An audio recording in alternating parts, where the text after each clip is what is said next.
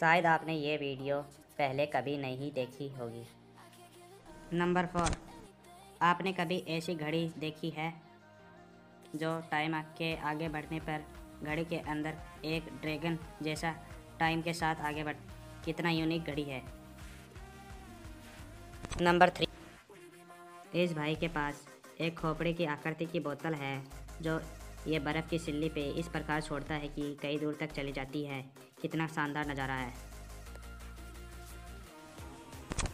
Number two. ये बूढ़ा आदमी ने अपने लिए एक पानी में तैरने के लिए उस पर कितना अच्छा रंग भरा है, जो कितना औसम लगता है। ये स्केट बोर्ड पे कॉपी वीडियो है, लाइक ज़रूर करना। Number one. इन दोनों को देखो कितना जल्दी काम करते हैं। टाइल को कितना फास्ट लगाते हैं, क्या टैलेंट है।